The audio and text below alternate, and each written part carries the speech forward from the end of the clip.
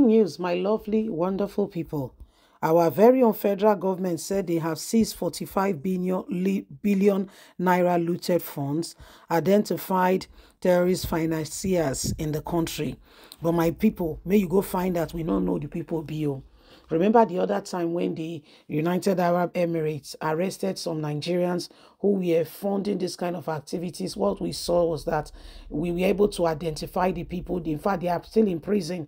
Some were given eight years, some were given 10 years in prison. But in Nigeria, is a different ball game all together. What we see today is a, is a you know people just want to tell tell Nigerians and they expect them to just you know just accept it hook like and sinker. Don't question and uh, don't question anything. That's what we are seeing. Oh. That's what we are seeing, my lovely people. That is exactly what we are seeing. So these are some of the issues that are on ground. These are some of the things that are happening. And honestly, sincerely speaking, we need to ensure that the right things are done you know we need to ensure that the right things are done you know they said they've seized this amount of money they've done that but we don't know where the money is uh, we don't know. Please don't forget to give us a thumbs up, like or share, subscribe. Thank you. Federal government on Thursday said it has seized over 45 billion that was illegally looted from the nation's treasury. It further disclosed that the number of individuals entitled and titles linked to terrorist activities has been identified and designated with funds tracked to them also confiscated. The Attorney General of the Federation and Minister of Justice, Mr. Lateef Fagbemi San made a disclosure in his opening address at the 40 Technical Commission meeting of the Internal Government Action Group against money laundering in West Africa.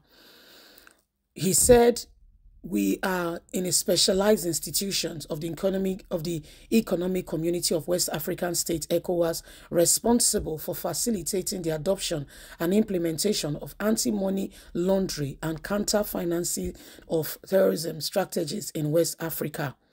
In his presentation, the AGF, who spoke on behalf of Nigeria, said the President Bola Ahmed Tinubu's government was determined to build a successful built on success the success that were recorded by press administration. And i'll tell you the sources of the past administration okay? One of the sources of the past administration is that they looted the nation's treasury in case you are wondering Yes, they looted the nation's treasury. Uh, Buhari, they changed uh, Naira at the peak of the moment, and uh, Nigerians were suffering, and everybody were wondering what next to be. Uh, that's part of what they did. If you are wondering what they did, you know, you are trying to get it. That, uh, what could be their job description because it's building on that one. Yes, so let's continue. He said in 2022, we increased the budget for Economic and Financial Crime Commission, Independent Corruption Practice Commission, National Drug Law Enforcement Agency by almost 95%. On a line at their dog, the controller. We now have over 1,500 officers designated to investigate and prosecute money laundering across these three agencies. But not them, they're not they prosecute, but they can prosecute others. You get me now? Mm-hmm. This sustained, this sustained investment has since seen increased number of investigation, prosecution, and conviction consistently since 2021, with 5,118 investigation, 1,509 prosecution, and almost 500 conviction secured, resulting in over 45 billion naira illegal proceeds seized. That is the one from Yahoo Yahoo Boys. But the real Yahoo Yahoo Boys are succeeding. They are throwing parties. They are going everywhere and doing everything they can with Nigerian money. So in case you are wondering, in case you are trying to say, ah, so what happened, my dear? Now waiting they happen, but don't get it twisted. Though. They know exactly what they are doing. Don't get it twisted at all. Don't don't get it twisted. They are a bunch of hyenas. and uh, they are a bunch of hyenas you know um so this is part of you know this is uh, part of uh, you know the, the the the the the things that we are experiencing you know um you, you know we just have to we just have to rise up. We just have to rise up and uh, we need to do what is right. Okay? Uh-huh. And it's, it, it's very, very important. you know, it's very, very important that we rise up and we say the right things. You know, we say the right things. Um, and we need to do what is needed. Okay, we need to do what is needed, irrespective of who is involved. You know, we need to we need to rise up and ensure um, we do the right thing okay? My people don't forget that you need you know we, we you know we need to write we need to speak out. Every time we neglect you know the opportunity to to to speak out when there is an alteration we allow these people to continue on their spree of destroying this nation. Sincerely truly speaking you guys found 45 million and we are not aware. Uh-uh you know you are not we are not aware.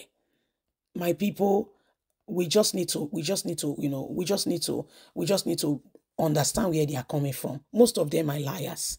We hardly have true those telling us the truth among them. So if for anything okay if for anything if there's anything that you have ever taken from this Okay, if there's anything you've ever taken from this, the truth of it is that we cannot continue with the same thing over and over again and expect a different result.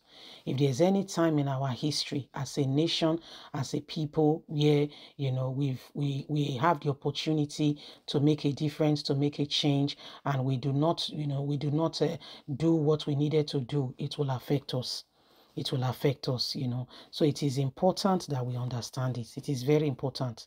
It is very, very important. Okay, it is very, very important.